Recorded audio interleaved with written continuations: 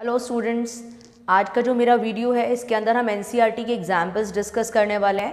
9.6, 9.7, 9.8 class twelfth ray optics so ray optics का already question number 9.6 मैंने लिखा हुआ है आपके लिए। इससे पहले भी मैंने एक वीडियो शेयर किया था बेटे जिसके अंदर मैंने एन e का एग्ज़ाम्पल 9.9 उसमें थ्री लेंस का कॉम्बिनेशन था।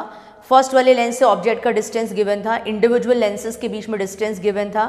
फाइनल इमेज हमें फाइंड करनी थी। वो भी बहुत इंपॉर्टेंट क्वेश्चन था।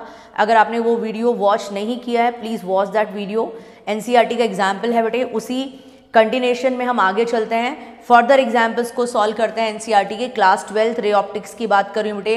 9.6 क्वेश्चन पहले लेके चलते हैं। क्वेश्चन क्या है बेटे? Light from a point source in air ठीक है? एयर में है बेटे सोर्स सो दैट मीन्स इसको हम इस तरह से रिप्रेजेंट कर लेते हैं कि कॉन्वेक्स जो है रिफ्रैक्टिंग सरफेस ले लिया बेटे। हालाँकि मेंशन नहीं है तो जब तक मेंशन नहीं है तो मैंने इसी तरह से सिंगल स्वेरिकल रिफ्रैक्टिंग सरफेस ये मेंशन कर दिया है बेटे आपको समझाने के लिए। बाहर है rare medium so this is mu one ये रेयर मीडियम है and this mu two this is what denser medium object जो है बेटे, कहाँ पे प्लेस्ड है? रेयर मीडियम में है। यानी कि लाइट कहाँ से जा रही है बेटे? Rare to denser so light को जाना चाहिए इस तरीके से। Right right? अब आप देखेंगे, बेटे कर्व ऐसे है तो आपको पता है सेंटर कर्वेचर इधर आएगा। सो बेटे, यहाँ पे नॉर्मल ड्रॉ कर देंगे, ये नॉर्मल ड्रॉ कर दिया हमने, ये नॉर्मल आ गया। जिस पॉइंट पर इंटरसेक्ट करेगा प्रिंसिपल एक्सिस को, ये आएगा सेंटर और यहाँ पर क्या आएगा, ये पोल पॉइंट आ जाएगा। अभी आपको सिर्फ़ इतना समझना है, जब लाइट रेयर से डेंसर में जा रही है तो बेंड हो जाएगी टूवर्ड्स नॉर्मल और यहाँ पे कहीं भी आगे इमेज बन जाएगी। अब बेसिक चीज़ समझानी है, मुझे डेरिवेशन नहीं समझाना है। मुझे ये समझाना है कि ये वाला डेरिवेशन का रिज़ल्ट क्या आया था।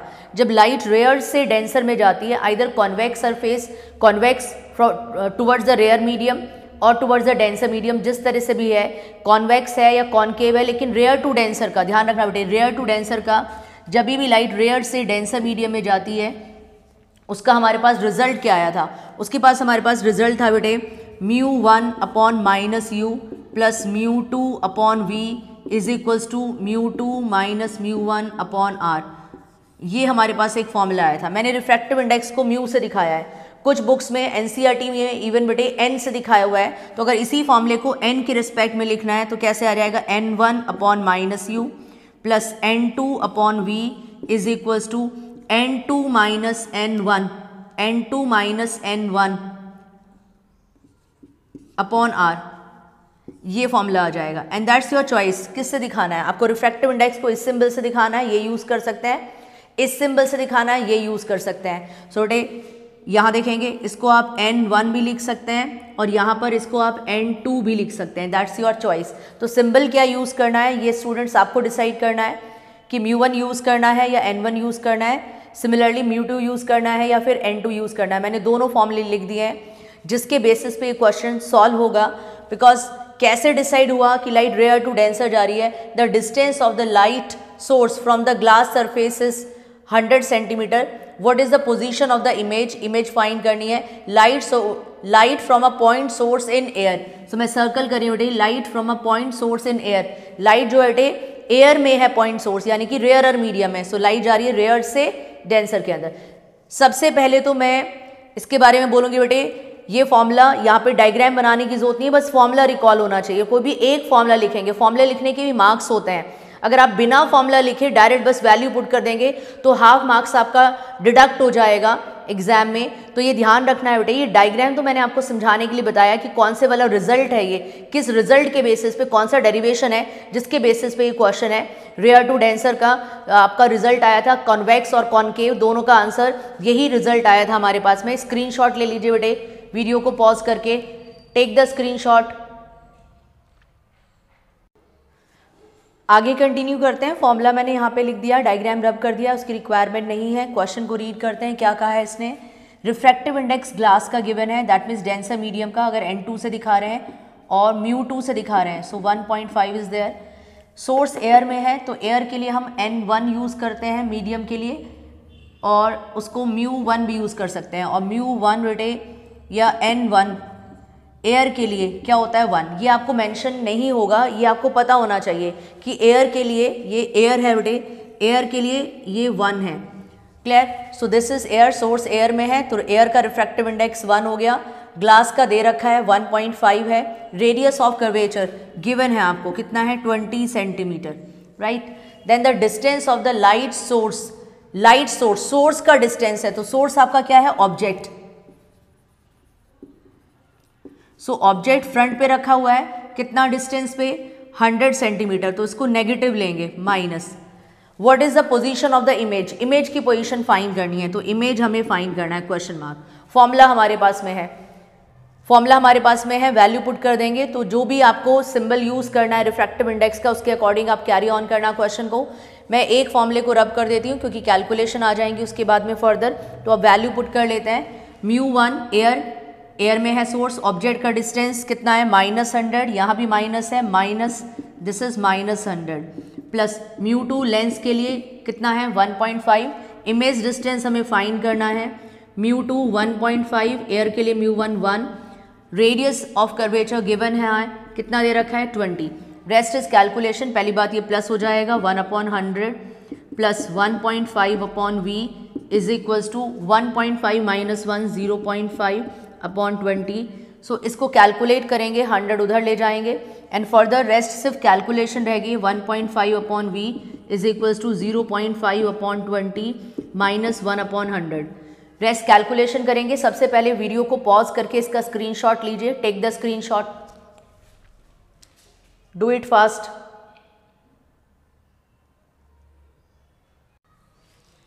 मैंने इधर से रब कर दिया है, जो पोर्शन था, उसको अगर आपको कन्फ्यूज़न हो वीडियो को बैक करके आप उसको वहाँ से वॉच कर लेना स्क्रीनशॉट ले लेना। अब इसकी कैलकुलेशन करते हैं आगे। कैलकुलेशन करेंगे वी निकालना है इमेज डिस्टेंस ये हमारे पास सिर्फ़ कैलकुलेशन रह गई है। So one point five upon v किसके इक्वल है? यहाँ से पॉइंट हटाएँगे अपॉन में ज़ीरो आ जाएगा so that will be five upon two hundred simple calculation करते हैं और सिंप्लीफाई नहीं करें। यहाँ से आपने पॉइंट रिमूव किया, नीचे ज़ीरो आ गया, two hundred, minus one upon hundred. अब एलसीएम ले लेंगे 1.5 point five upon v is equals to, यहाँ 200 एलसीएम ले लिया है। 2 मल्टीप्लाई होगा क्रॉस में 5 minus two. Five minus two क्या आ जाएगा? थ्री आ जाएगा। 1.5 point five upon v is equals to three upon two hundred. Calculate करना है, इमेज डिस्टेंस इमेज डिस्टेंस कैसे आएगा? थ्री वी इंटू ये मल्टीप्लाई हो जाएगा so three v is equals to one point five into two hundred और v is equals to one point five ऐसे ही ले लेते हैं अभी into two hundred upon three ये कैंसिल होगा, कितना बचेगा? Zero point five zero point five into two hundred multiply करके क्या आएगा? पॉजिटिव हंड्रेड सेंटीमीटर तो आप देख सकते हैं कि इमेज डिस्टेंस हमारे पास में कितना आ गया? Hundred centimetre so that means ये क्वेश्चन काफ़ी ईजी क्वेश्चन था and that was asked in 2016 ये 2016 के सीबीएसई बोर्ड पेपर में आपको मिल जाएगा अगर हम बोर्ड के क्वेश्चंस को प्रैक्टिस करेंगे. So it it is an important question कोई कन्फ्यूज़न हो तो आप कमेंट्स में मुझे बता सकते हैं. मैंने कोशिश की है पूरी तरह से समझाने की. स्क्रीनशॉट लीजिए बिकॉज़ बेटे बेसिकली ये आपका कंटेंट था जो आपको समझना चाहिए था. उसके बाद में वैल्यूज़ हमने कैसे लेनी है? म्यू वन क्या होता है? म्यू टू क्या होता है? ये आपका मेन फैक्टर था। बाकी बहुत ईजी क्वेश्चन है। राइट स्क्रीन ले लीजिए इसका। टेक द स्क्रीन स्क्रीनशॉट ले लीजिए।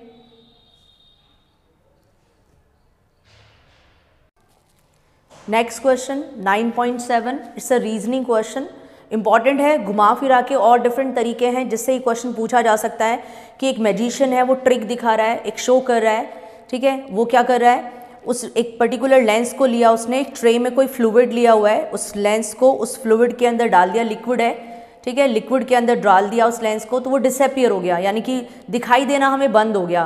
तो ऐसा कैसे पॉसिबल है कि कोई लेंस हमें विजिबल है क्लियरली और जैसे वो ट्रे के अंदर कोई लिक्विड प्रेजेंट है, उसके अंदर डिप करता है ट्रांसपेरेंट है, और दैट मीन्स अगर हम साइड से देख रहे हैं या अपवर्ड से देख रहे हैं तो वो दिखना फिर हमें बंद हो गया उसके अंदर। दिखाई नहीं दे रहा डिसअपियर हो गया। तो ये कैसे पॉसिबल है कि वो डिसअपियर हो जाए? उसके लिए मैं आपको दो पॉइंट्स बताती हूँ डे जो काफ़ी इंपॉर्टेंट है। अगर लेंस का रिफ्रैक्टिव इंडेक्स ये जनरल कॉन्सेप्ट है, ये डिफरेंट क्वेश्चंस में बाकी भी हेल्प करेगा। जो लेंस का रिफ्रैक्टिव इंडेक्स है, वो म्यू टू से दिखा दिया मैंने आउटर मीडियम म्यू वन से। इसके लिए तीन कंडीशंस हम याद कर सकते हैं, इसको प्रिपेयर कर सकते हैं, अगर ये इक्वल हैं दोनों।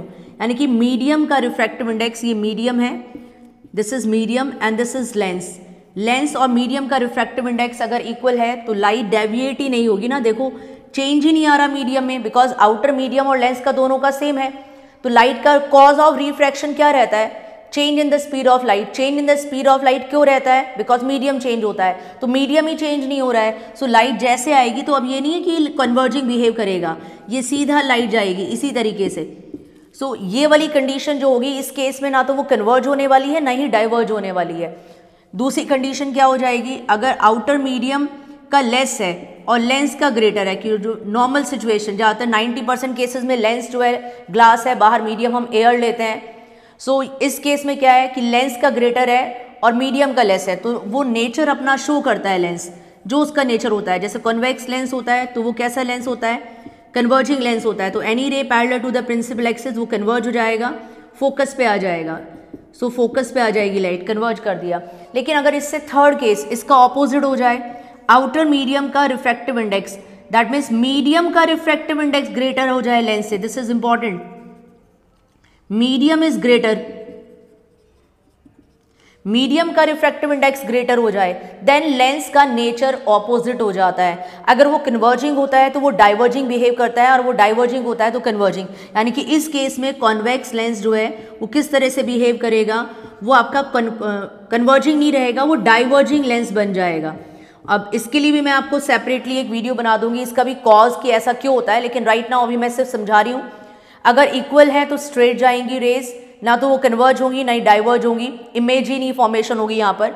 यहाँ पे क्या हो जाएगा? कन्वर्जिंग बिहेव करेगा और मीडियम का अगर ग्रेटर है लेंस के रिफ्रैक्टिव इंडेक्स से। मीडियम है आउटर म्यू वन मी और लेंस है म्यू टू मीडियम ग्रेटर है तो लेंस का जो नेचर है, जो नेचर था वो कन्वर्जिंग से क्या हो गया? डाइवर्जिंग एक तो ये मेन पॉइंट बताना था। अभी जो क्वेश्चन है, उस पर मूव करते हैं। क्वेश्चन क्या है? क्वेश्चन में ये दिया है कि एक पर्टिकुलर लेंस को किसी लिक्विड के अंदर हमने ड्रॉप कर दिया। किसी वेसल में ट्रे में एक लिक्विड है, उसके अंदर डाल दिया तो वो डिसअपियर हो गया। कैसे डिसअपियर हो गया? अगर लेंस का refractive index refractive index of lens वो एग्जैक्टली exactly मैच हो जाए, किसके साथ में? Refractive index of the liquid in the tray so refractive index lens का अगर जो लिक्विड प्रेजेंट है कोई भी वेसल है उसके अंदर अगर वो एग्जैक्टली exactly मैच हो जाएगा बिल्कुल एग्जैक्टली exactly मैच हो जाएगा सो so, लेंस जो है वो डिसअपियर हो जाएगा उसकी इमेज नहीं बनेगी हमें दिखाई नहीं देगा। सो so, ये इंपॉर्टेंट था फैक्ट सो so, इसको आप सोल्यूशन में तो यही लिख देंगे जैसे मैंने लिखा है थ्योरी के अंदर और आप बाकी थियोरेटिकल एनसीईआरटी में भी गिवन है फिर वो पूछ है नेक्स्ट क्या ये लिक्विड वाटर हो सकता है? नहीं वाटर नहीं हो सकता है पॉसिबल नहीं है वाटर का होना ठीक है? बिकॉज़ वाटर के लिए जो रिफ्रैक्टिव इंडेक्स है वो 1.33 है। और लेंस का कितना है? जो दिया है उसने 1.47 सो लेंस का दिया है 1.47 तो ये लिक्विड वाटर तो पॉसिबल नहीं है, क्योंकि वाटर के लिए कितना है? 1.33 वैल्यू होती है 4 by three four by three ये डिवाइड करके 1.33 आता है। तो फिर क्या हो सकता है? कोई भी ऐसा लिक्विड हो सकता है जो वाटर से ज़्यादा डेंस हो। तो हम सजेशन दे सकते हैं कि ये ग्रिसलिन प्रेजेंट हो सकता है। ट्रे के अंदर मे बी ग्रिसलिन प्रेजेंट है।